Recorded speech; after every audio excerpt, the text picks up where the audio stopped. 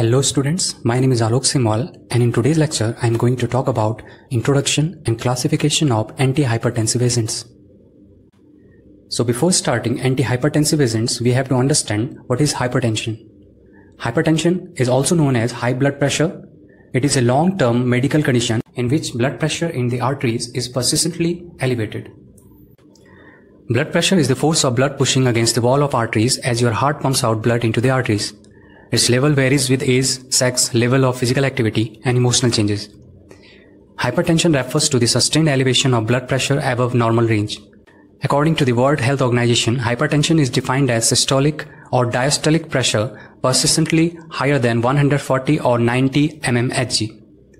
Risk factors of hypertension include increasing age, family history, overweight, and smoking. Sometimes high blood pressure may also be caused by certain medicines or diseases such as kidney or endocrine diseases. Next is disease etiology. Etiology is the cause, set of causes or manner of causation of a disease or condition. Hypertension is of two types, primary hypertension and secondary hypertension. Primary hypertension is the elevation in blood pressure without an identified cause. Secondary hypertension is the elevation in blood pressure with an exact cause. This type is account for 5 to 10% of total cases.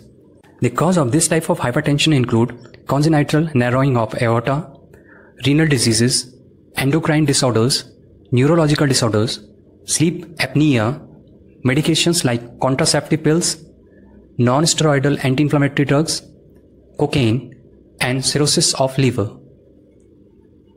Risk factors associated with hypertension are is alcohol, smoking, diabetes mellitus, excessive dietary intake of sodium, gender, family history, obesity, and stress. Management of hypertension is possible by two ways. Lifestyle modification and pharmacological management. Lifestyle modification include weight reduction, dash diet, dietary sodium intake, reduce alcohol, exercise, stress management, etc. Dash diet is dietary approaches to stop hypertension. Second, pharmacological management include various groups of drugs used in the treatment of hypertension, which are collectively called as antihypertensive drugs. So antihypertensives are a class of drugs that are used to treat hypertension, which is high blood pressure condition. Antihypertensives therapy seeks to prevent the complications of high blood pressure such as stroke and myocardial infarction.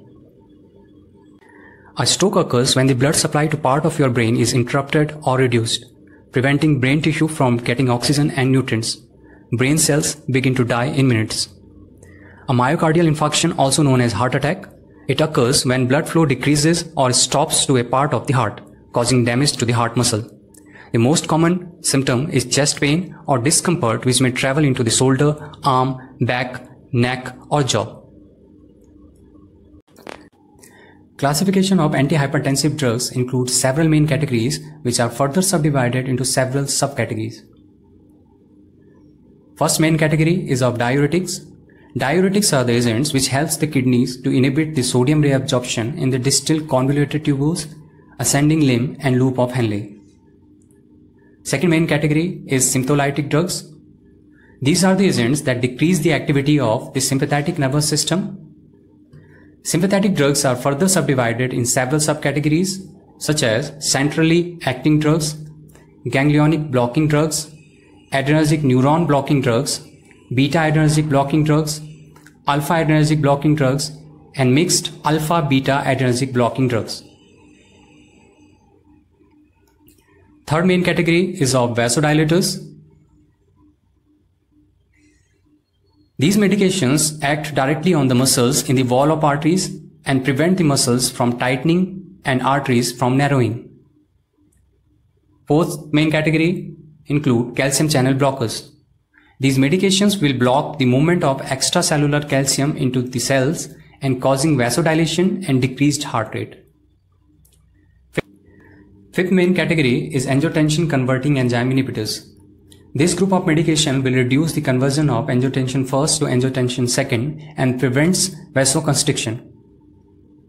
Last category is angiotensin antagonist.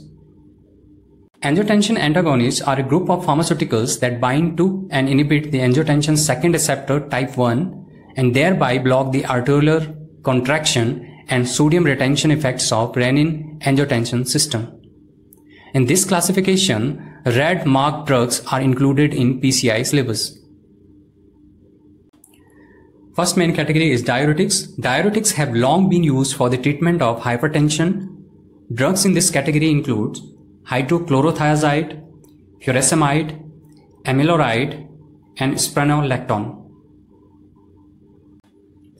Second main category is of sympatholytic drugs. First subcategory includes centrally acting drugs. Drugs in this category are methyl dopa hydrochloride, clonidine hydrochloride, guanabenz acetate, and guanethidine monosulfate. Second subcategory of sympatholytic drugs include ganglionic blocking agents such as trimethaphan camsylate and mecamylamine. Next subcategory of sympatholytic drugs include adrenergic neuron blocking drugs. Reserpine is an important drug of this category. Next subcategory is beta adrenergic blocking drugs. It include timolol, atenolol, and metoprolol. Next one, alpha adrenergic blocking drugs. Prazosin and terazosin are the main drugs in this category. Last subcategory of sympatholytic drugs include mixed alpha-beta adrenergic blocking drugs. It includes labetalol and carvedilol. Third main category include vasodilators.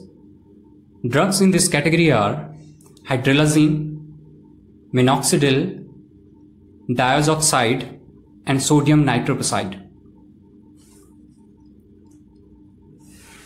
Fourth main category is of calcium channel blockers. Drugs in this category are verapamil, diltiazem, and nifedipine.